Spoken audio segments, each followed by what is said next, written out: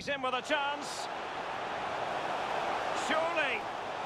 Well, another cross. Just what the Liverpool fans wanted to see as they extend the lead to two goals.